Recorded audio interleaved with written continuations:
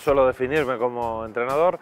Sí que es verdad que si tengo alguna virtud, como tengo defectos, soy muy, muy, muy riguroso, muy exigente e intento, intento dotar a mi equipo de un sello muy definido, sello de lo que yo entiendo como lo que es el fútbol, lo, lo, que es la exigencia del fútbol actual, del fútbol moderno y sobre todo que soy muy, muy exigente.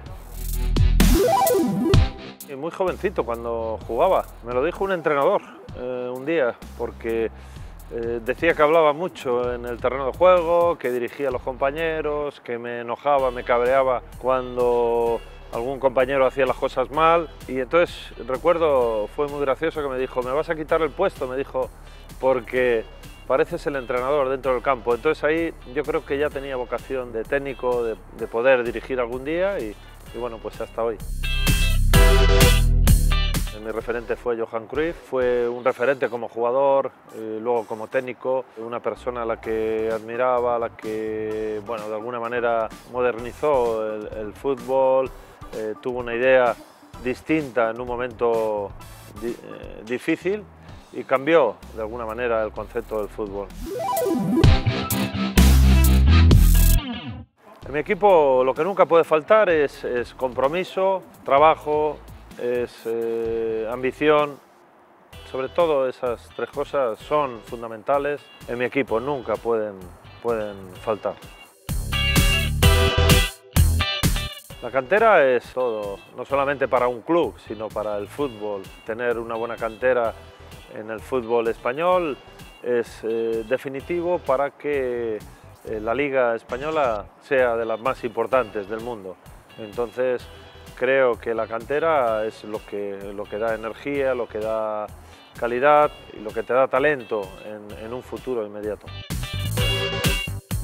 Una alegría inmensa, un reto eh, muy bonito, importante, con una ambición enorme y bueno, mi deseo es estar mucho tiempo en el Valencia Club de Fútbol porque eso será un buen síntoma. Eh, querrá decir que sacamos buenos, buenos resultados, que crecimos como equipo y ese es eh, mi objetivo. La energía, la fuerza que tiene esta afición, porque me llamó muchísimo la atención. Cuando me estalla Ruge es algo increíble, se te ponen los pelos de punta y eso me marcó y no se me olvidará nunca sentir de manera especial el, ese, el rugir de, esta afición increíble, de esa fuerza y ese binomio equipo de afición que, que Mestalla sea inexpugnable.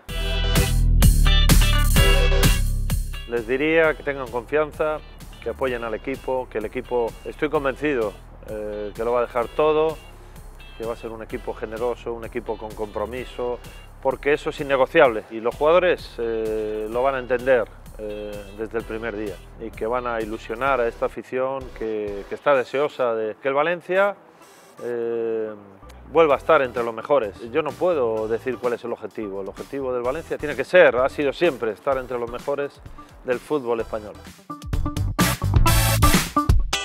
Ojalá el sueño sea hacer cosas importantes con el Valencia. Ese es eh, mi sueño ahora mismo. No, no pienso en, en, cosas más allá de lo que no sea el Valencia Club de Fútbol. Mi mente está en el Valencia, está en intentar dar el 100% para que el Valencia consiga estar de nuevo entre los mejores.